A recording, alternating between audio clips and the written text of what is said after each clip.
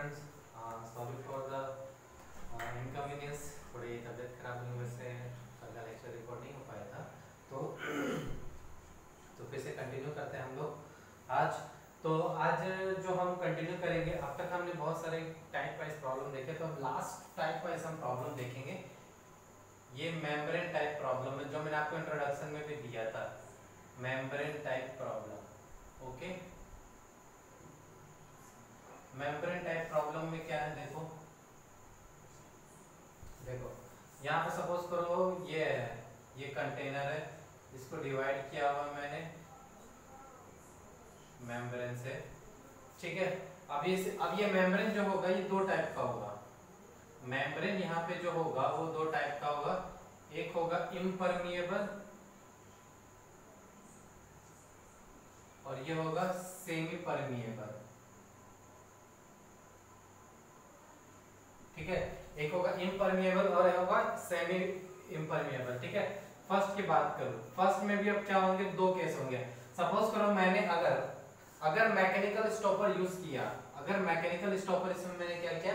Use किया। पहले case में if mechanical stopper are use if mechanical stopper are use देखो, कल भी मैंने आपको बताया इम्परमिएबल का मतलब ये यहाँ से इस चैम्बर वन और चैम्बर टू में जो भी गैसेस होंगे, ये आपस में एक्सचेंज नहीं होती। इम्परमिएबल का मतलब ये होती है किसी भी गैस को एक्सचेंज होने एक्सचेंज होने से रोकता है, ठीक है?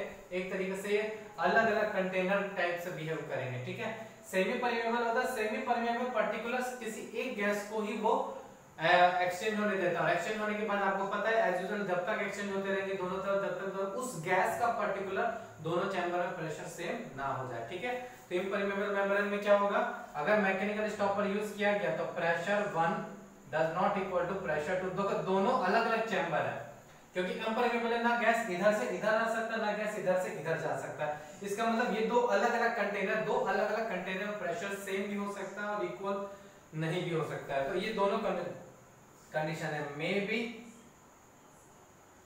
और मे नॉट बी ठीक है? मे बी और मे नॉट बी और अगर मान लो इसी केस में if mechanical stopper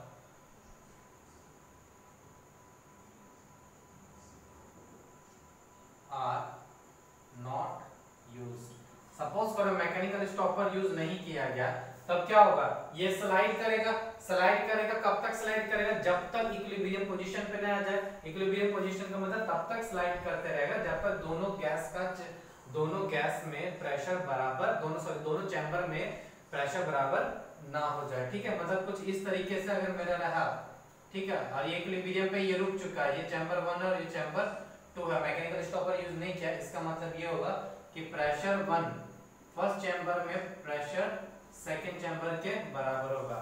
और अगर मान लो मैंने सेमी परमिएबल यूज़ किया सेमी परमिएबल मान लो allow only gas A allow only gas A मान लो कोई एक गैस ए गैस है, उसी को अलाउ करेगा। तो इसमें क्या होगा? मान लो मैकेनिकल स्टॉपर यूज़ किया तो तो भी कोई बात नहीं, किया तो भी कोई। अगर यूज़ अगर मान लो यूज़ किया गया है तो pressure of gas A in one is equal to pressure of gas in two इसमें सिंपल सा आपको फंडा ये याद रखना है कि दोनों गैस दोनों दोनों मतलब गैस ए का दोनों तरफ़ प्रेशर क्या रहेगा? सेम रहेगा एट द इक्विलिब्रियम कंडीशन पे, ठीक है? तो यहाँ तक चीज़ें समझ में आए? एक क्वेश्चन करता हूँ इन पेपर बेटर अंडरस्टैंडिंग के लिए, ठीक है?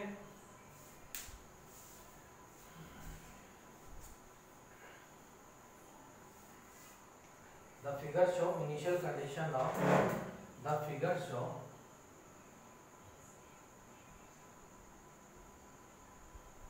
show initial condition of the figure show initial condition of uniform cylinder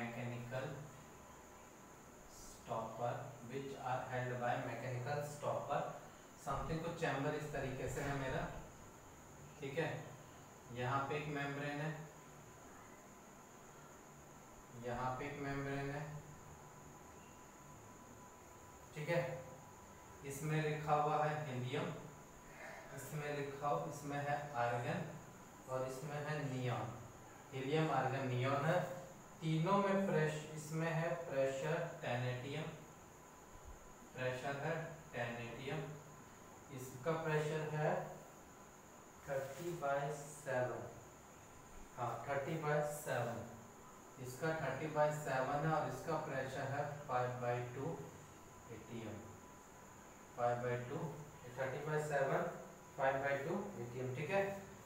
late यहाँ से यहाँ डिस्टेंस जो दिया हुआ है, वो है ट्वेंटी फाइव सेंटीमीटर ठीक है?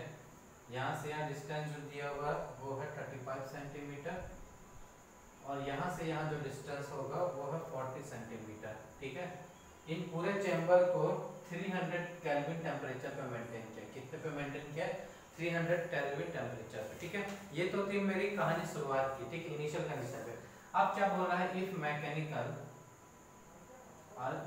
ये हाँ सॉरी मैकेनिकल स्टॉपर भी है। सॉरी यहाँ पे क्या है? मैकेनिकल स्टॉपर ये पॉइंट ए और ये पॉइंट बी है. ठीक है, ये मैकेनिकल स्टॉपर है. If mechanical stopper of A and B are remote are remote and temperature is constant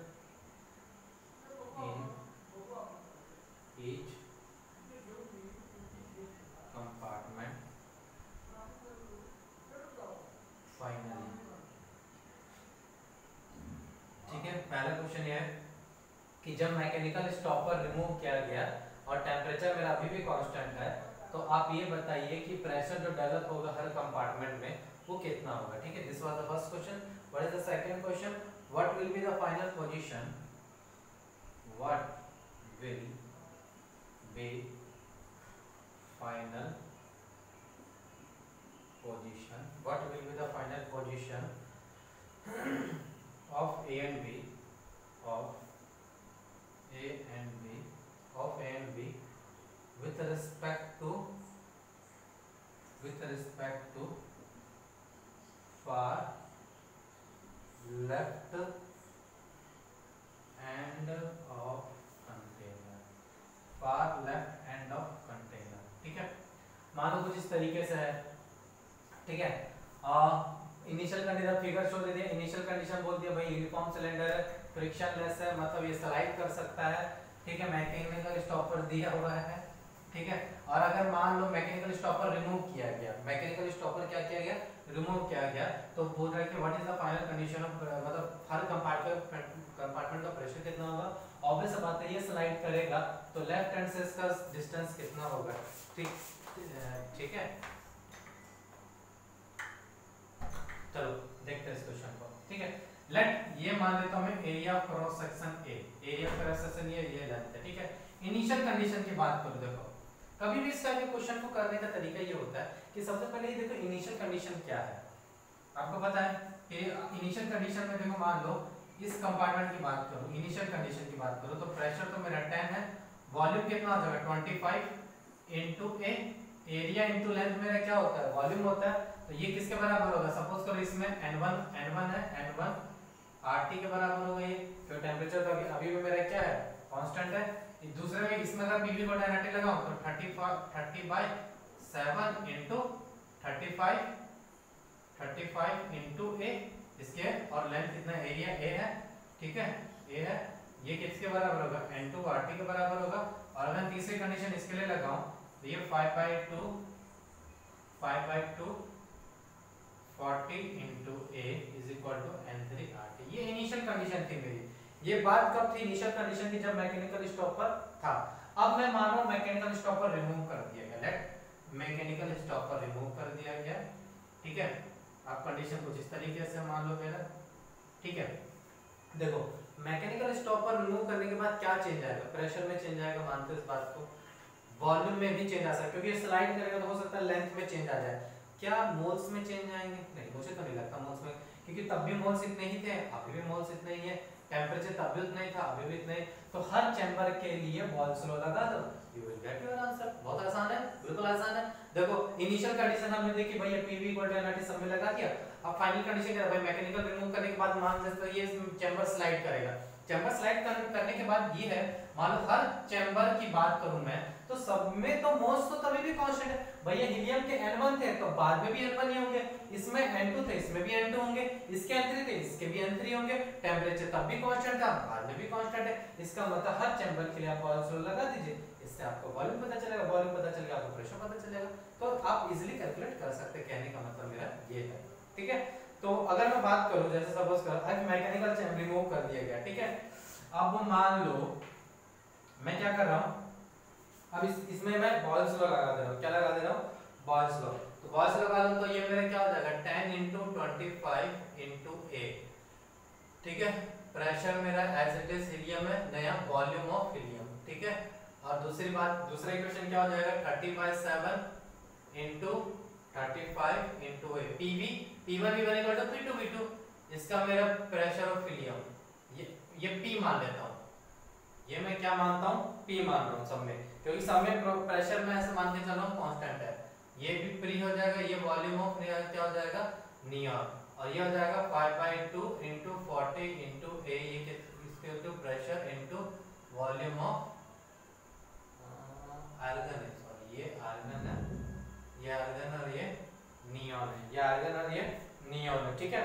अब मैं ऐसा कर रहा हूँ, मैं तीनों को ऐड कर दिया। मैंने क्या किया? तीनों को ऐड कर दिया, ठीक है? लेट मैंने ये माना कि प्रेशर भैया कांस्टेंट है फ़िलहाल तीनों में, ठीक है? तो सबका पी प्रेशर मैंने माना, सबका क्या माना प्रेशर तीनों का ऐड किया मैंने मैंने क्या किया? तीनों को ऐड किया। तो आप समझो तो ये अप्रोक्सीमेटली कितना टाइम चला जाएगा? फाइव टाइम चला जाएगा और ये कितना टाइम चला जाएगा? टू टाइम चला जाएगा। तो तीनों को ऐड करने पर ये तो है पी कॉमन आ जाएगा। पी क्या आ जाएगा? कॉमन आ जाएगा।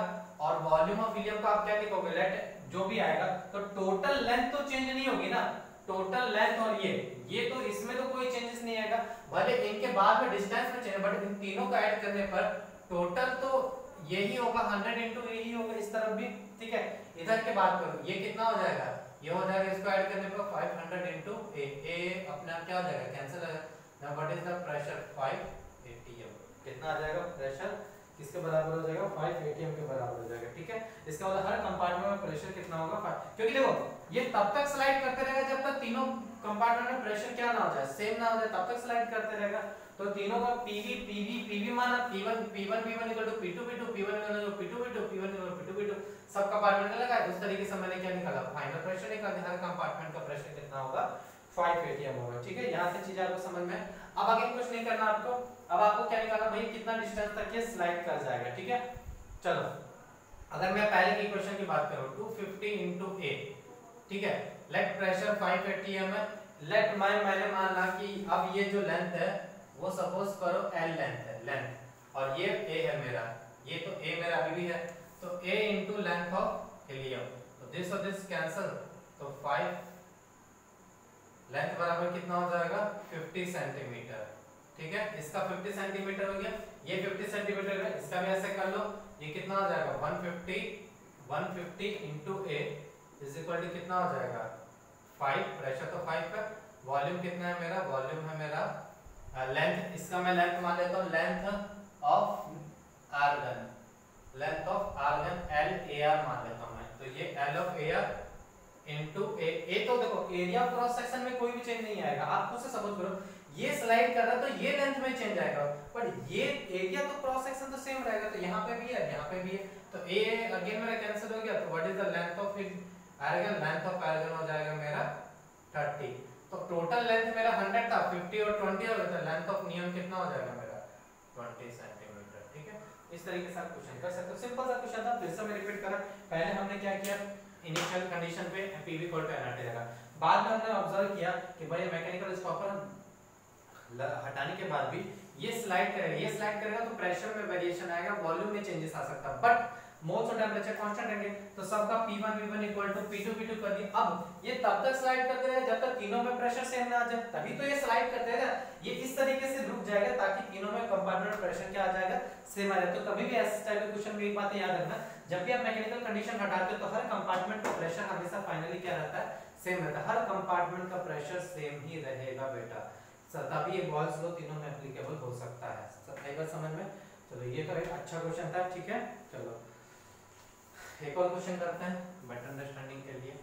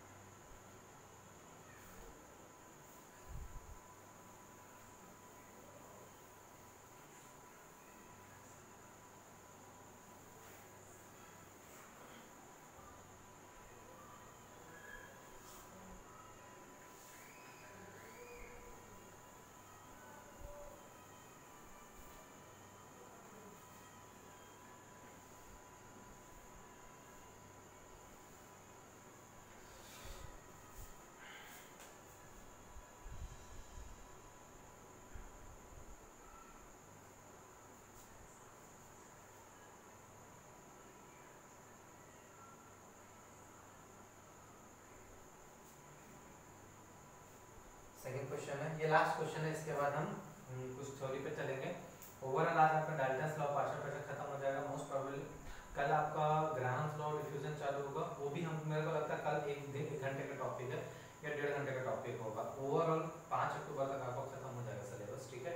Syllabus I mean gases tested खत्म हो जाएगा, क्योंकि देख लो लंबा टॉपिक भी है थोड़ा। भाई gases few gases are filled in a container इन्हें क्या कह रहे हैं as shown in diagram as shown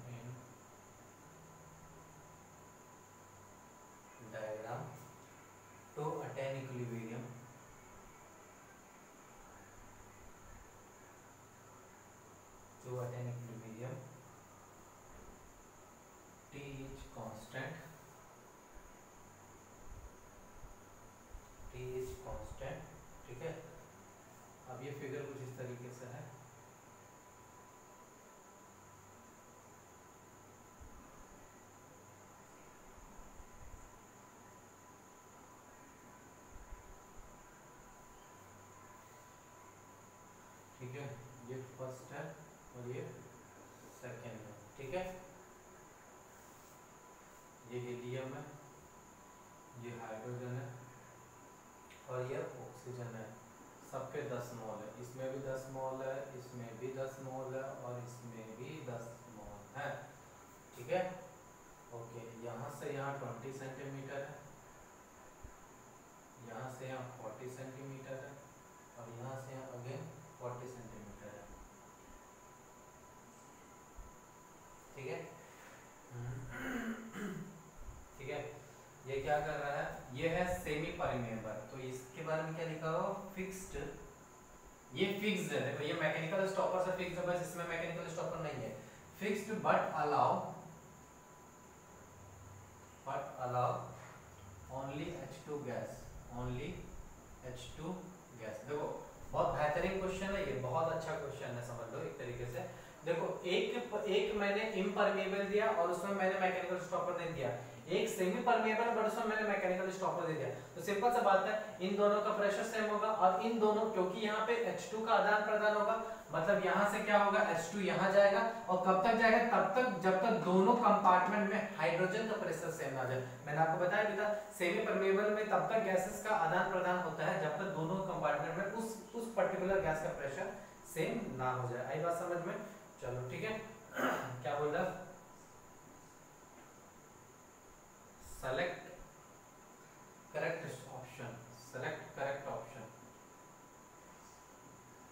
select पहला ऑप्शन क्या बोल रहा है total moles of gas in third will be total moles of gas in third will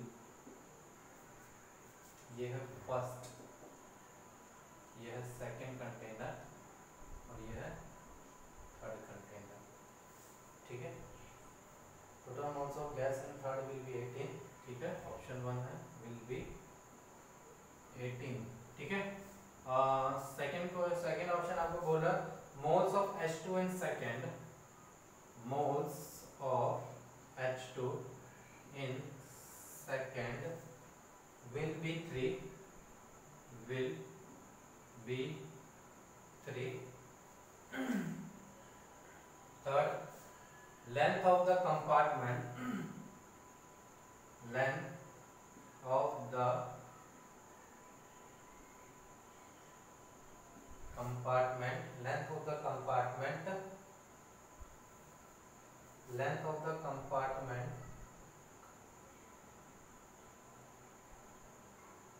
containing only hydrogen containing only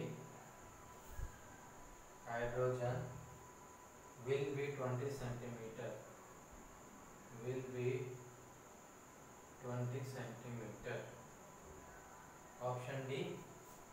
The distance of movable piston.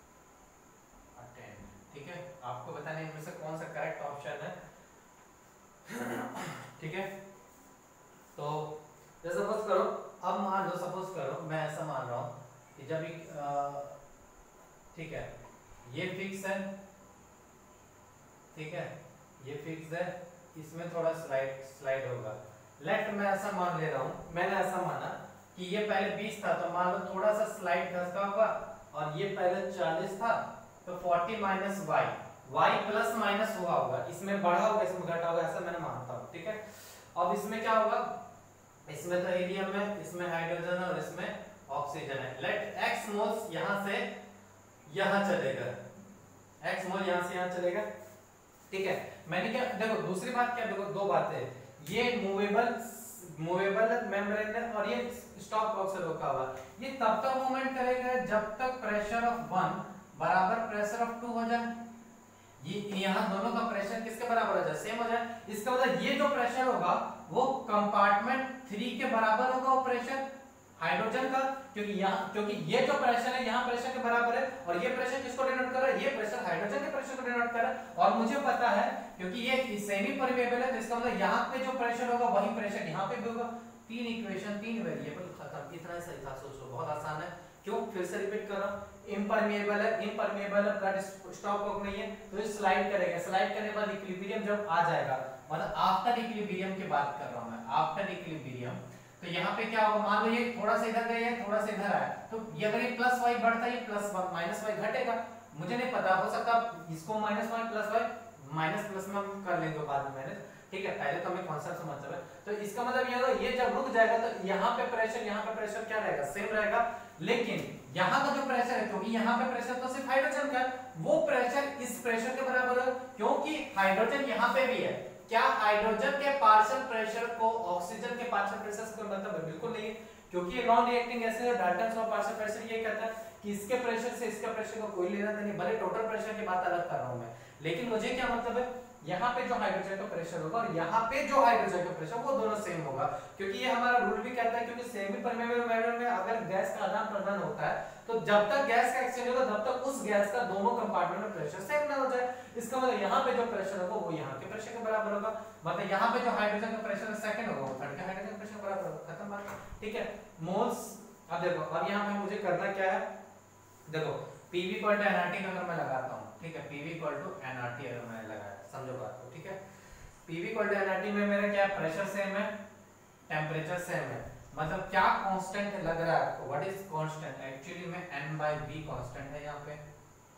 N by v क्या है? Constant है। तो कुछ नहीं, यहाँ पे पहले इक्वेशन क्या होगा 10 बाय मान लो 20 plus y into area into a, ये वॉल्यूम हो जाएगा। Let area be question cross section A हो जाएगा। दूसरा हो जाएगा, यहाँ पे n बाय v मतलब कितना होगा? 10 minus x divided by 40 minus y into a और यहाँ पे कितना हो जाएगा? 10 प्लस एक्स डिवाइडेड बाय ये तो फिक्स है तो ये लेंथ हमेशा कांस्टेंट रहेगा। इसका लेंथ 40 सेंटीमीटर है, पर इसमें कोई चेंज नहीं आएगा। तो 40 इंटू ए ठीक है? ये ये ये कैंसिल हो गया तीनों में। मतलब दो इक्वेशन तीन तीन वेरी दो इक्वेशन दो वेरिएबल आ जाएगा आपका आंसर तो पहले मैं क्या कर रहा हूँ? ये एक्चुअली इसको मैंने सॉल्व किया हुआ है। ठीक है? मैं क्या कर रहा हूँ? पहले ये दो इक्वेशन को ले रहा हूँ, ठीक है? इसको ये दो इक्वेशन अच्छा सॉरी 10 प्लस एक्स है ना तो मुझे यहाँ मोल्स भी हाइड्रोजन के लेना सॉरी माय मिस्टेक तो यहाँ गलती होगा मेरे से।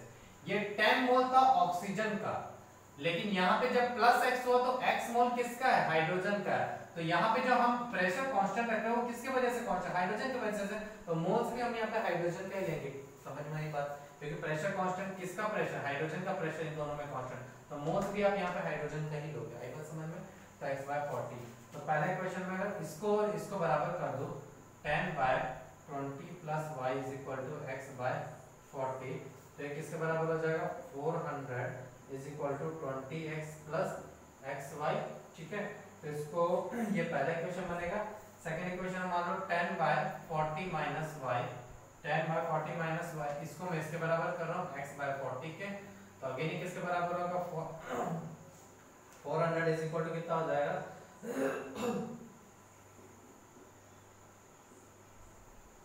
40x माइनस xy ठीक है? xy की वैल्यू यहाँ से ला के यहाँ पुट कर दो। तो what is the value of अच्छा सॉरी ये 10 माइनस x है। 10 माइनस x है तो ये हो जाएगा 400 minus 40x then what is the xy value xy की वैल्यू आएगी 80x माइनस 400 तो इसको मैंने यहाँ पुट कर दिया तो ये बराबर हो जाएगा 400 is equal to 20x plus 80x minus 400 400 400 800 हो जाएगा। तो x की वैल्यू 8 बराबर हो जाएगी। कितने बराबर हो जाएगी? 8 इसका मतलब यहाँ पे जो टोटल मोल्स होगा 10 प्लस x मतलब 18 ठीक है? तो इसका मतलब क्या बोला देखो total moles of hydrogen in third compartment will be 18 correct statement है। करेक्ट स्टेटमेंट है, क्योंकि x की वैल्यू 18 है तो यहाँ पे तो दो मोल बचेगा तो यहाँ पे कितना मोल बचेगा? 18 मोल ठीक है? तो ये पहला सही था। अब, x की वैल्यू आ गई इतनी तो व्हाट इज़ द इसमें पुट कर दो, किसी में पुट कर दो आंसर तो आपका ही जाएगा, ठीक है? तो पहले इक्वेशन में 400 इज़ इक्वल टू 20x मतलब 160 160 प्लस 8y तो y की वैल्यू कितने हो जाएगी? 240 इज़ इक्वल टू 8y तो y बराबर कितना हो जाएगा? 30 सेंटीमीटर y बराबर 30 सेंटीमीटर मतलब इसका टोटल लेंथ कितना हो जाएगा? यहाँ का टोटल लेंथ हो जाएगा 50 और यहाँ का कितना हो जाएगा 10 तो क्या बोलो moles of hydrogen in second compartment will be 3 ये सेकंड ऑप्शन गलत हो गया। Mole length of compartment containing only hydrogen will be 20 ये भी गलत स्टेटमेंट है, क्योंकि भैया ये तो 30 आ रहा तो ये तो 10 होना चाहिए। वो क्या distance of movable piston from left end is 30 centimetre after equilibrium is attained ये भी गलत हो गया, क्योंकि ये टोटल 50 है 50 होगा। तो यहाँ तक समझ रहे तो इसका मतलब सिर्फ़ एक ऑप्शन करेक्ट था, बाकी ऑप्शन क्या थे मेरे? गलत थे। ठीक है दिस टाइप के क्वेश्चन आपसे पूछे जा सकते हैं। तो this this was overall type of problem देखो, इस तरीके से आप एक तरीके से इनको थ्योरी के जैसे भी कंसीडर कर सकते हो और मेरे अकॉर्डिंग इसको थ्योरी के जैसे कंसीडर करो तो ज़्यादा फ़ायदेमंद रहेगा कि स्टॉपर में स्टॉपर में मेम्ब्रेन होता तो कंडीशन क्या होती है? अगर स्टॉपर में मेम्ब्रेन नहीं होगा इम्परमेबल तो कंडीशन क्या होगी? एक दो बार क्वेश्चन प्रैक्टिस करोगे तो आपको ज़्यादा बेटर समझ में आ जाएगा, ठीक है? चलो नेक्स्ट है Amagat's law of partial volume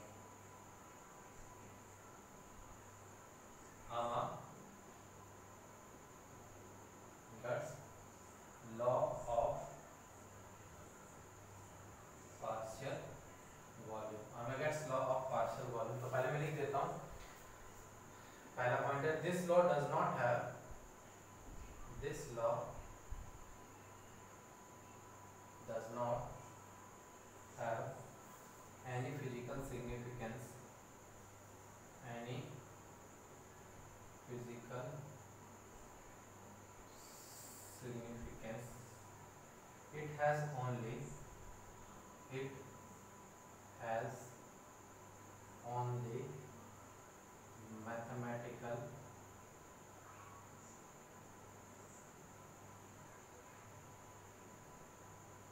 mathematical significance it had only mathematical significance ठीक है second है this law is valid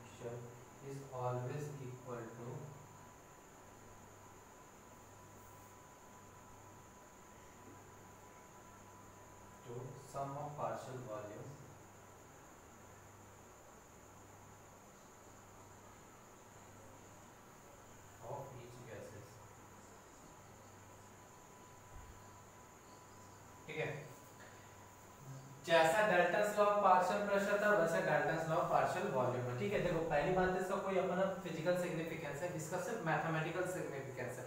physically आप इसको अप्लाई नहीं कर सकते और ये वैलिड कब होता है? कांस्टेंट टेंपरेचर और कांस्टेंट प्रेशर पे। ठीक है? मतलब V डायरेक्टली प्रोपोर्शनल टू है, वही है। It is stated that the total volume of a gaseous mixture is always equal to the sum of partial volume of each gas तो जैसा Dalton Dalton's of partial pressure था कि partial pressure को gas total gases का partial मतलब जो total pressure जो gases mixture का होगा, वो उनके सम ऑफ़ पार्शियल प्रेशर के बराबर होता है ईच गैसेस के। तो यही Amagat's law of partial volume बताता है।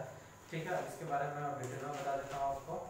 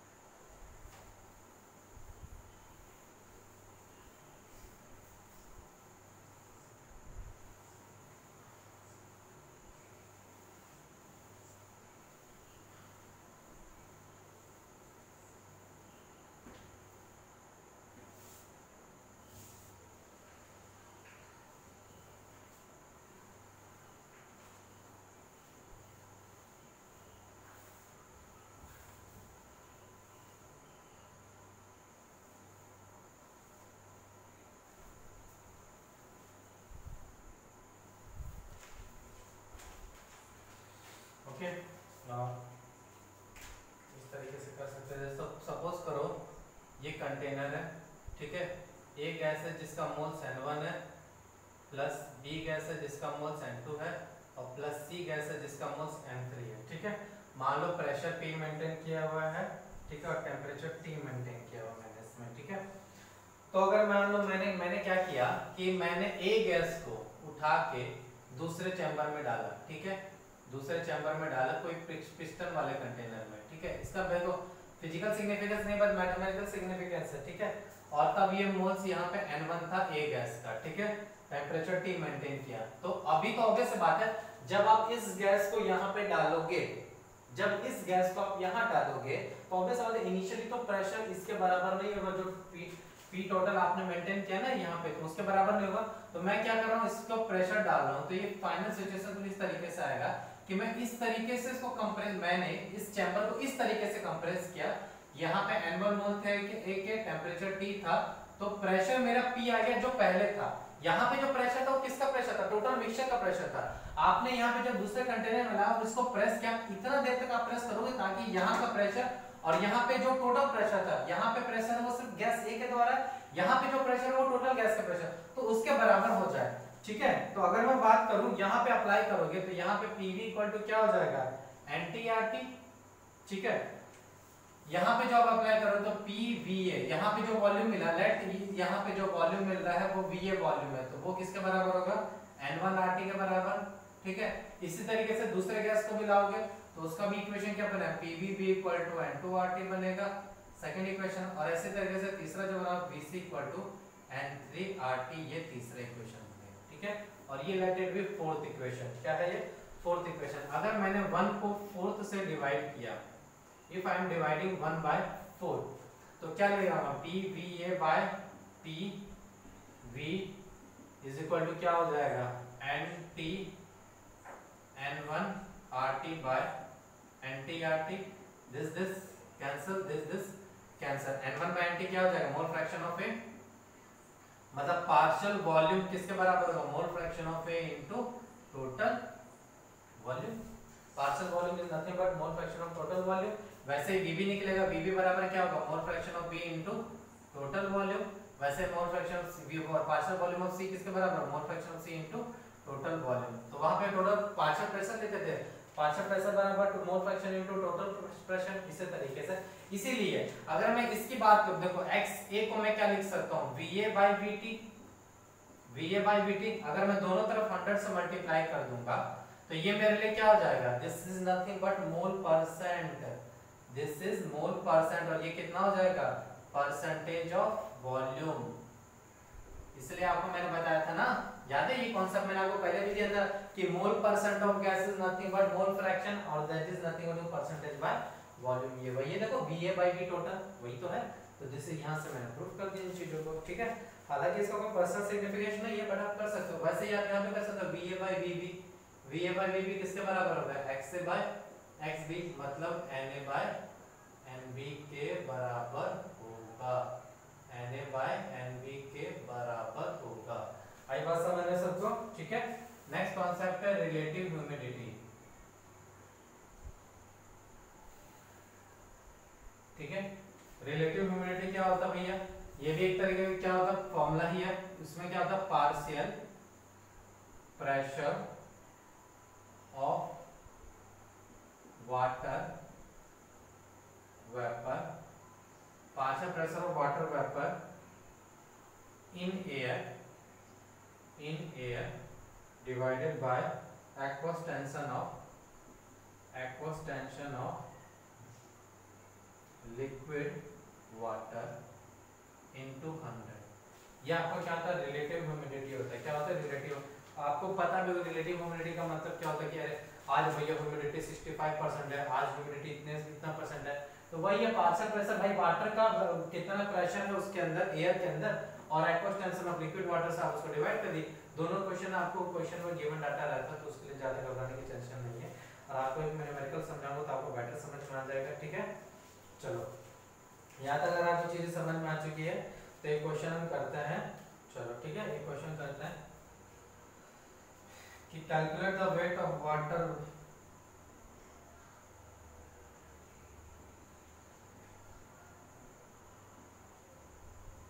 calculate the weight of water in gram per litre in gram per litre of air of air at 20 degree Celsius at 20 degree Celsius and 45 percent 45 percent relative humidity relative humidity ठीक है vapour pressure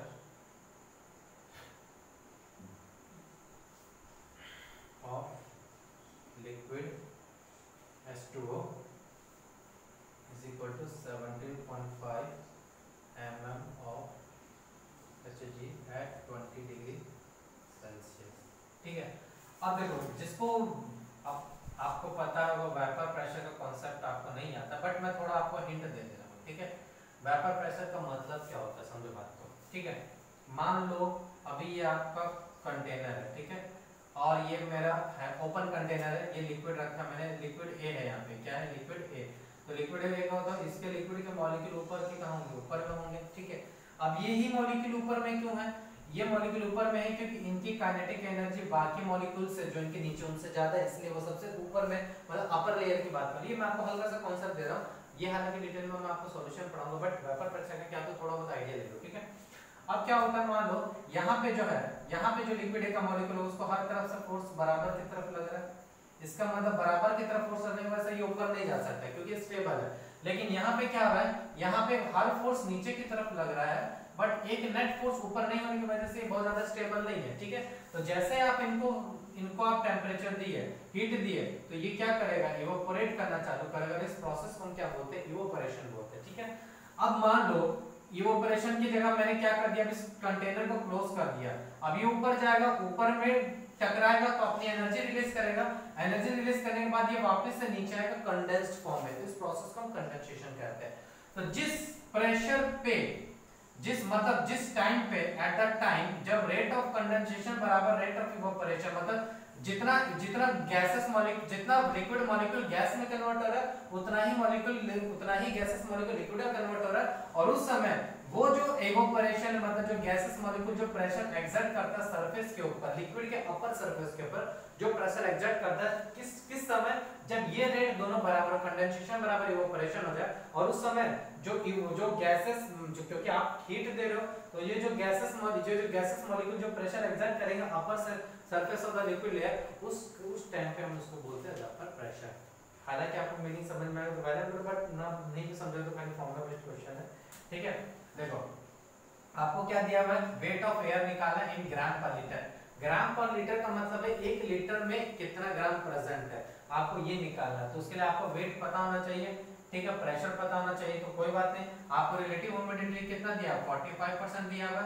और आपको ऊपर क्या पता? Partial इसका formula क्या था? रिलेटिव ह्यूमिडिटी का partial pressure of H2 divided by aqueous tension या वेपर प्रेशर और वेपर प्रेशर भी बोला जाता है।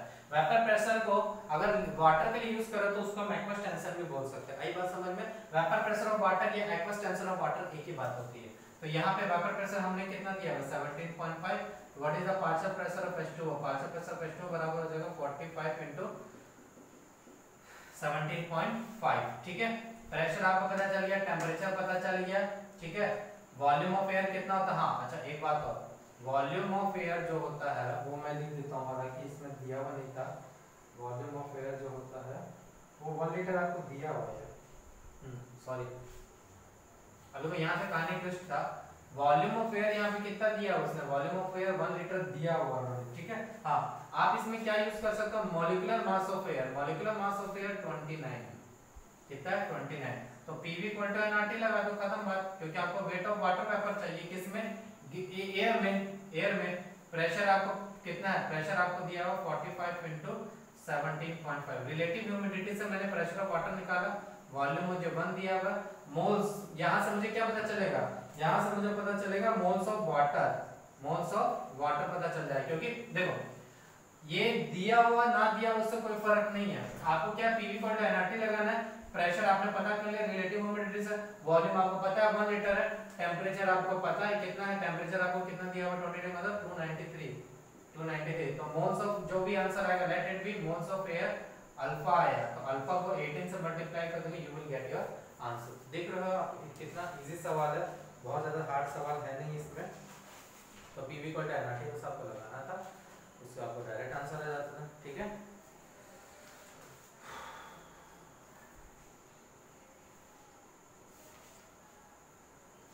ठीक है? तो this was your overall Dalton's law of partial pressure ठीक है?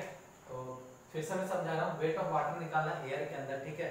अगर आपको प्रेशर पता चल गया वाटर का एयर के अंदर उसका वॉल्यूम पता है टेंपरेचर पता तो मोल्स इजीली निकाल सकते हो फिर रिलेटिव ह्यूमिडिटी दिया था मुझे इनडायरेक्टली मुझे इनडायरेक्टली प्रेशर दिया हुआ तो उससे मैंने क्या किया pressure pressure pressure of H2 निकाला पीवी को डायनेटिव अप्लाई किया उससे मुझे मोल्स ऑफ़ H2 पता मोल्स ऑफ़ H2 को आपको मोल्स पता है तो वेट निकालने के लिए आप क्या करते हो मॉलिक्यूलर मास से मल्टीप्लाई करते हो यू विल गेट आंसर तो this was overall your partial Dalton's law of partial pressure कल से हमारा कल से हमारा चालू होगा Graham's law Graham's law diffusion वगैरह, ठीक है?